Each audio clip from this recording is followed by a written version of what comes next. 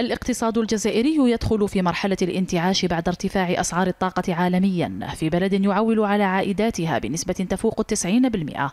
ومع هذه القفزة التي زادت من احتياطي الصرف بالعملة الصعبة هناك توقعات بأن يصل إلى عتبة السبعة وأربعين مليار دولار بنهاية هذه السنة. هذا ما انعكس بالإيجاب على البنوك المحلية بدعم من البنك المركزي من أجل تقديم قروض الاستثمار وبعث نشاط المؤسسات الاقتصادية. تدابير جديدة اللي أخذتها الدولة في مجال آه، مرافقة البنوك وإعادة التمويل ومنح بعض المزايا لبعض المشاريع الاستثمارية الجديدة في بعض القطاعات الاستراتيجية. آه، أثرت إيجابيا يعني على على على مرافقة البنوك لهذه المشاريع. أزمة السيولة التي عالجتها معظم البنوك بعد الأزمة الاقتصادية التي عاشتها الجزائر على مدار ما يقرب السنتين بدأت ملامحها تتلاشى وانسدادها يزول ما بين هذه المؤسسات المالية وطالبية القروض وإن كان هؤلاء يتحفظون على نسب الفوائد.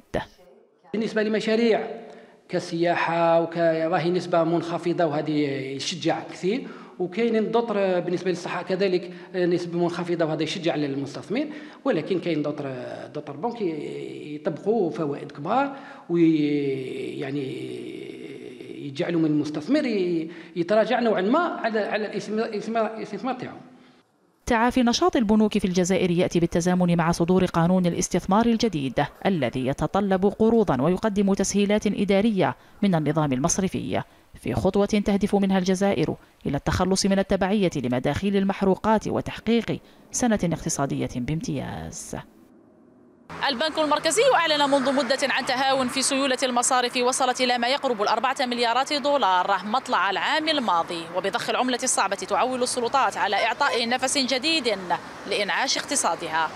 نهز زروات سكاي نيوز عربية. الجزائر.